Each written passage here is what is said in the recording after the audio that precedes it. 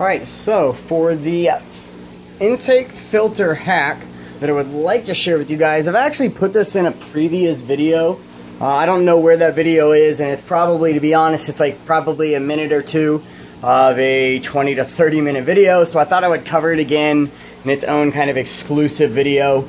Uh, so for an intake filter, an intake sponge, a pre-filter, I think pre-filter is probably like the best term to use here. Uh, pre-filter for a hang-on back, uh, a smaller canister, um, or even like uh, like an internal filter, which I don't have one there. I could have one there. Um, of course, it wouldn't really fit on that thing very well. I should probably put one there. And I could easily put one here as well. I would just have to poke a hole in the bottom. Those are CO2 uh, little homemade diffusers that I'm messing around with. But um, I thought I would share these with you guys because it's been a while and I don't know if everyone's aware of them yet. But um, anyways, what I use like 90% of my intake sponges, which I have an intake sponge on every single hang-on back in my fish room. Reason being is because if you don't, your hang-on backs get really, really dirty, really, really fast. And uh, this also adds some more beneficial, you know, some more basically bio load to your beneficial bacteria. It gives you more surface area. Um, so I also have one in here. Now this is kind of the, um, like, the truly designed or engineered one, if you want to call it that, uh, for hang-on backs. Now that fits on aqua clears, as we can see here. That also fits on Tetras. It fits on every single one but the Marineland hang-on back because those have those square uh, you know, down tubes. Uh, but it fits on basically every other one that I can think of. Um, and that is an option. Those cost about $12 and they're worth it. They're not bad. They look really good. You have a bunch of different angles. You can go to the side like that. You can go straight up and down. A lot of different, you know, scenarios that you can do with those.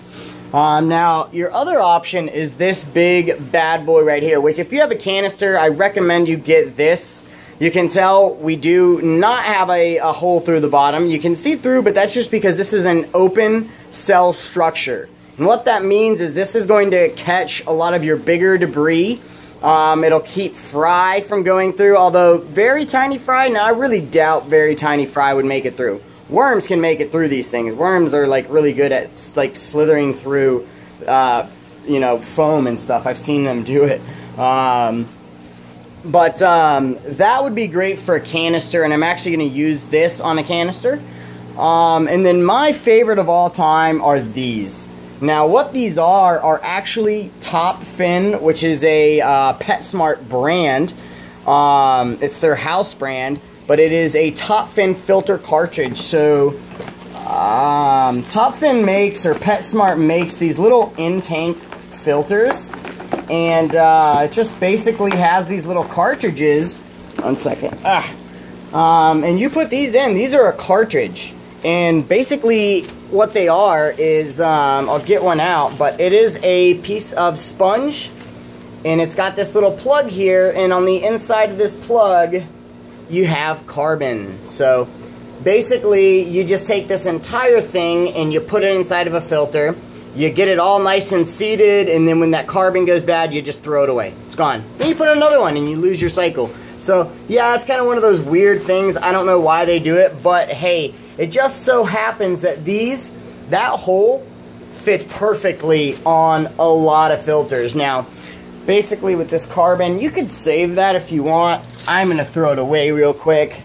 And uh, I want to show you it fits really, really good on a lot of intake uh, intakes. So this is a, uh, a Tetra, a Tetra Whisper like 3060, and um, it like it it fits like a glove. That's I mean pretty dang good. It's not it's not coming off, so it's on there. Um, now I will warn you, they have what seems like a few different sizes of these. I don't know why, but it's very important that you get the four pack because these four packs are, well, it also depends on what you get.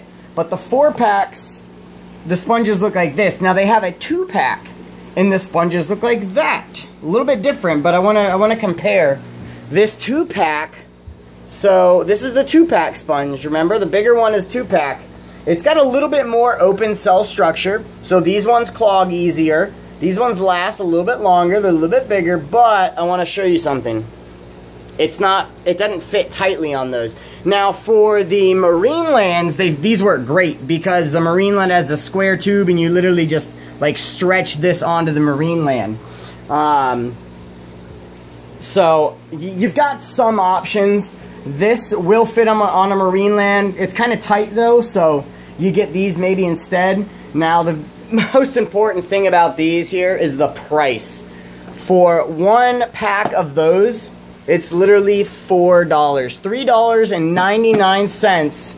Uh, and I got these on sale. I want to say I bought bought one, get the second one half off. That's why I have two packages here. But alone and normally at my PetSmart in uh, Dallas, Texas area, I pay $3.99 for four of those. That means I am literally paying a dollar per intake sponge. I mean, that's that's pretty dang good if you're trying to just, you know, have a cheap intake sponge that is going to keep your tanks clean, um, keep your tanks cleaner, keep you from having to do all that filter maintenance. Um, so I, I really like these. I think that is just a huge tip, huge hack. I use it. I mean, if you go around and look at, you know, most of my, all my intakes for my hang-on backs have those because I breed fish. Um, and uh, they also do just it's it's more you know bio load that you can put into your tank. Uh, it's a cleaner hang on back. It's a cleaner tank because you're picking up more debris. That's one more you know line of defense to pick up debris. Oh my God, that just happened.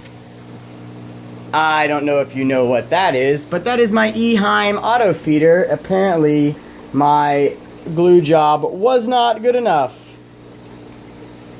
Wow. Wow. Wow. And I just put, I just filled that up with food. Like, wow. Oh my god, you guys, that is so bad. Oh my, jeez, dang, dude, like, oh my god. Alright, well, I think that's a sign to go ahead and end this. Hopefully, hit the like button for the Lost Eheim, you guys. Definitely subscribe. I'm trying to make a lot more content, shorter videos, more helpful content. So I've got to get that cleaned out and into a bag of rice, which I actually already have ready because something like that happened not that long ago, believe it or not. Um, so yeah, anyways guys, I hope you found it useful and I will catch you on the next one.